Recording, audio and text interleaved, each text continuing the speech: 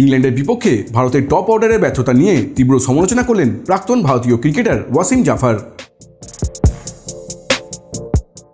T twenty এবং one day series জিতে Edgbaston টেস্টে হারের প্রতিশোধ নিয়েছে ভারত। গত রবিবার ম্যানচেস্টারের ওল্ড ট্যাফোর্ডে তিন ম্যাচের ওয়ানডে সিরিজের শেষ ওয়ানডেতে ভারত সাতচল্লিশ রান বাকি থাকতেই পাঁচ উইকেটে জয়লাভ করে নেয় বাটলারদের বিপক্ষে। ফলে men in blue one day series জিতে নেয় দুই এক ব্যবধানে। তবে এদিন একটা সময় ভারতের এই সিরিজ জয় কার্যত অসাধ্য হয়ে উঠেছিল। একটা সময় মাত্র বাহাত্তর রানে চার উইকেট হারিয়েছিল ভারত। কিন্তু সেখান থেকে দলকে আবারও জয়ের পথে টেনে তোলেন ঋষভ পান্ত এবং হার্দিক। তাদের দুরন্ত পারফরমেন্সেই জয়ে সাত পায় রোহিতরা। কার্যত ভারতের টপ অর্ডারের ব্যর্থতার ফলেই চরম বিপাকে পড়েছিল ভারত।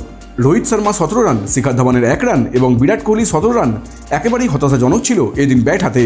ফলে সেদিনের ম্যাচের পর ভারতের টপ অর্ডারের ব্যর্থতার কথা তুলে ধরেন প্রাক্তন ভারতীয় ক্রিকেটার ওয়াসিম জাফার।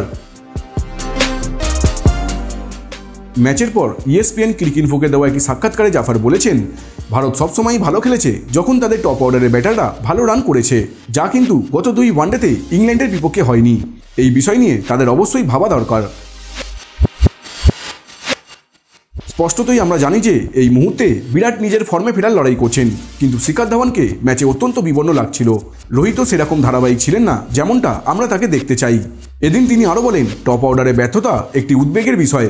তবে যদি পাঁচ ছয় এবং সাত নম্বরে খেলতে নেওয়া ব্যাটাররা এইভাবে পারফর্ম করে, তাহলে আমি মনে করি এটি রোহিত শর্মাকে যে কোনো কিছুর চেয়ে অনেক বেশি খুশি করে তুলবে। এরকম আরও অনেক ভিডিও দেখার জন্য সাবস্ক্রাইব করুন আমাদের ইউটিউব চ্যানেলটি এবং যদি আপনারা আমাদের ভিডিওটি ফেসবুকে দেখে থাকেন, তাহলে অবশ্যই আমাদের ফেসবুক পেজটিকে লাইক করবেন এবং ইনস্টাগ্রাম ও টুইটারেও আমাদের ফলো করতে ভুলবেন না।